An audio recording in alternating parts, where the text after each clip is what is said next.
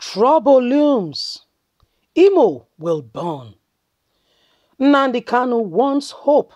Uzodinma ask Imo government to release detained chief priest. My dear, the problem is on. We all know how Governor Hope Uzodinma became the governor of Imo State. Somebody who did not pass his party primaries yet won a general election. Still an amusement that everybody is still looking forward to getting, you know, the truth. As a matter of fact, uh, son asked the Supreme Court to explain how he became the governor. Supreme Court dodge. That's not the issue for now. What's happening is, since Hope Uzodinma came in, it's been one problem to the other. Nnamdi Kanu has asked him to release uh, a chief priest that has been detained or Imo will burn. Don't forget he has the backing of the N of the ESN. Please don't forget to give us a thumbs up. Subscribe if this is your first time. Let's get all the details. this is terrible.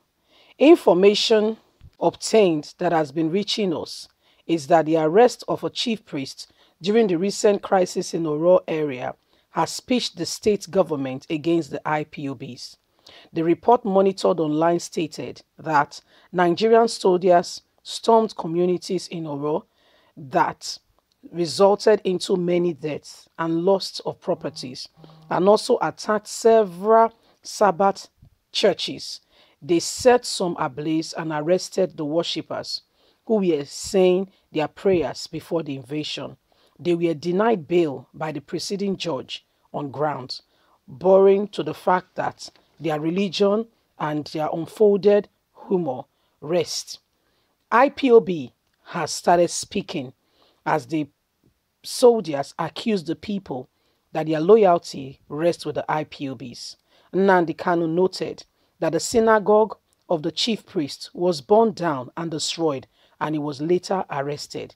Nnamdi Kanu, who is on live broadcast from Houston, Texas, warned the governor to immediately release the chief priest or Imo State, Nigeria will burn.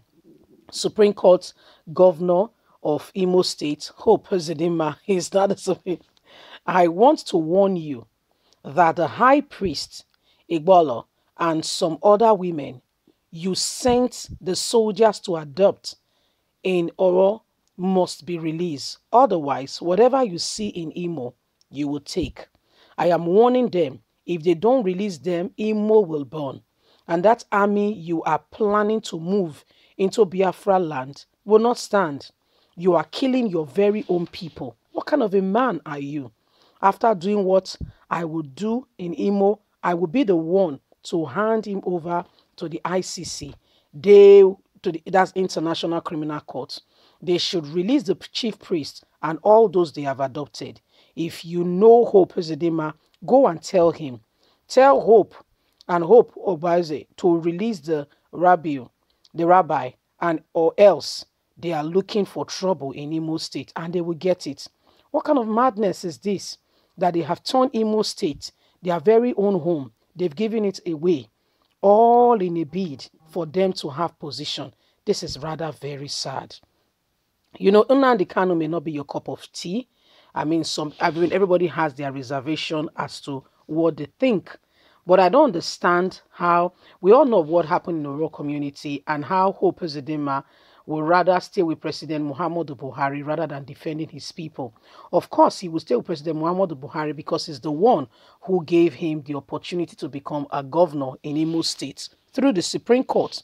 is not a secret. Everybody is aware. Everybody knows what is going on in Nigeria. A man did not participate in an election, yet he won the election. I mean, the very primaries from the very beginning, you know, the person that won APC primaries in Imo State was was disqualified for possessing dual candidacy. He had the AA and APC candidate candidacy uh, nomination, and so he was disqualified. That was the person who won APC primaries. So, if the APC candidate has been nullified or disqualified, so to say, How did APC have a candidate in that election?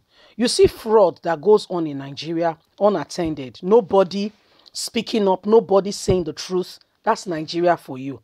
Hence, Donald Trump, during the time he was the president of America, said, There is no rule of law in Nigeria.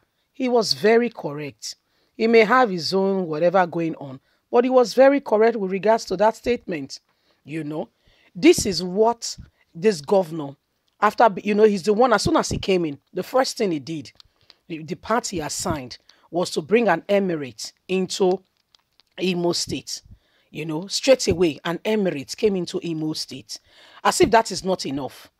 You know, emirate started, he started giving his own people away. Who does that?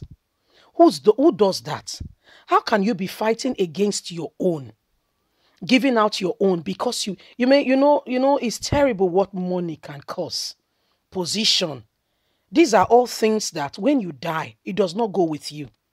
No man has died. And why he's in the grave, he's still a lecturer. In the grave, he's still a professor. In the grave, he's still a president. No. No man, no man, no man. You know, and that's why we need to be very careful. What kind of legacy? We, some, some people don't mind. But will you sell your soul to the devil in exchange for what? For what? Money? Do you know that when a sick one, one sickness, sickness, just one sickness, come into the life of a man, you will you, you will go back to God and say, God, please, eh? You will wish that even all the money, with all the money, you cannot move if God does not help. How can you put your people through untold suffering? And you know, the the the the, the rabbi of the synagogue was whisked away, saying that he was loyal to IPOB. These are these are not these are not these are not statements that have been confirmed.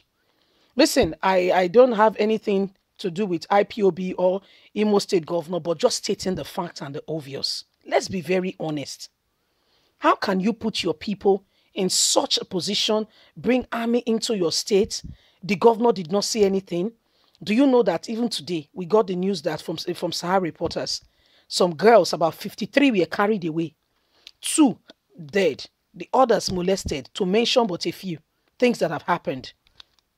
And you think that you are free? No, your hands are dipped in blood. They are not just stained. They are dipped. And unless you change and ask those people for forgiveness, I am sorry, the end will not be good.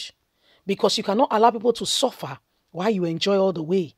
Leave us a comment. God bless you. Bye for now.